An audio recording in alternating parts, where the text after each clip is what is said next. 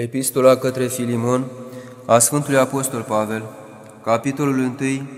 Pavel cel pus în lanțuri pentru Iisus Hristos și fratele Timotei, iubitului Filimon, împreună lucrător cu noi, și surorii Apfia și lui Arhip,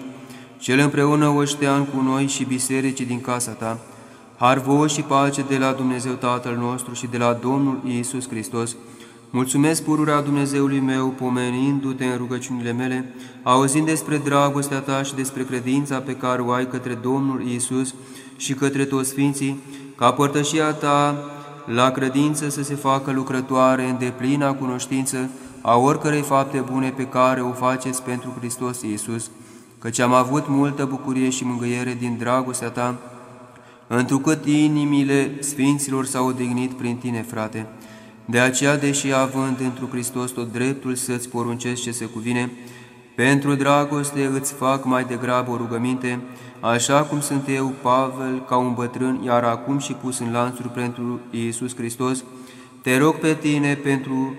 fiul meu pe care l-am cunoscut fiind în lanțuri Onisim, cel ce altădată nu ți era de folos, dar acum și ție și mie de folos, pe acesta ți l-am trimis pe el însuși, adică inima mea primește-l.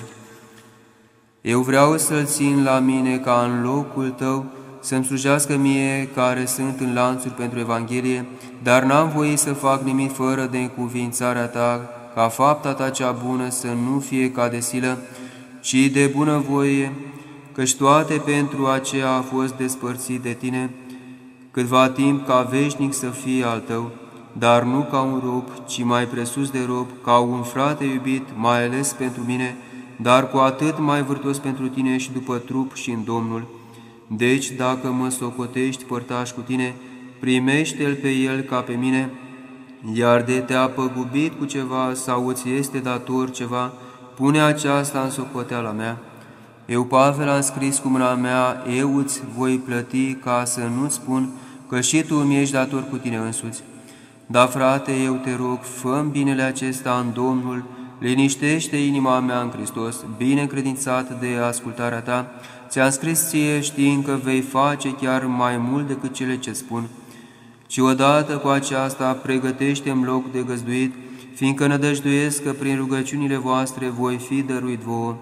Te îmbrățișează Epafras, cel închis împreună cu mine pentru Hristos Iisus, Marcur, Marcu, Aristar, Dimas, Luca, cei împreună lucrători cu mine, Harul Domnului nostru Iisus Hristos să fie cu Duhul vostru. Amin.